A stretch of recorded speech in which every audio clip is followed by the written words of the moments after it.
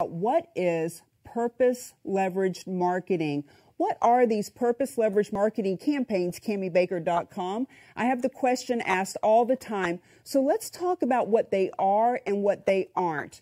There are seven specific reasons and results and goals that you as an entrepreneur, a full company, an office, an association can gain from doing a purpose leverage marketing campaign. So when we can partner our purpose and passion with our profession and make money while we make a difference, and we leverage that in our marketing and our PR, there are seven things that come from that. So number one, ideal clients. How would you like to get in front of the ideal clients? Not just random people, but actually get really clear on who your ideal client is and get in front of them. Number two is recruiting.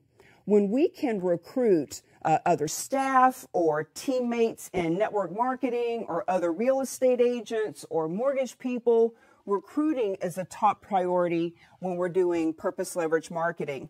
Number three is when we are looking to up our social media engagement, getting people really engaged with our social media. When we're talking about what we're doing versus what we do, our social media campaigns can be a lot more fun. Number four, let's talk about leveraging our time. When you know, networking itself is random activity. And in my book, Mingle to Millions, The Art and Science of Building Business Relationships and Mastering Referrals, I talk about how networking itself is random activity. When we want to actually leverage our time and meet the ideal clients right where they're at, that's a much better use of our time. So purpose leverage marketing helps us to get in front of those ideal clients. Let's also talk about number five, which is being seen as the expert. If you're in a competitive market like real estate or mortgage or insurance or financial services or network marketing or coaching, anything that's really a competitive market, imagine having a unique sales proposition and being able to come across as the expert. Number six is doing the right thing just doing the right thing in general. You know, social responsibility isn't just the right thing to do, it's the necessary thing to do in business these days. And there's a lot of reasons for that too.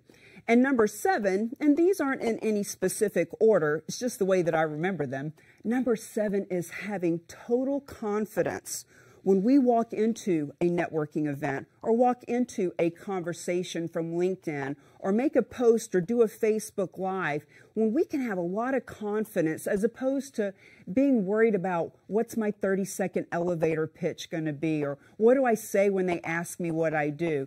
Having confidence and being able to own your space is one of the main reasons why companies and organizations hire me to come in and help them and their team and their people.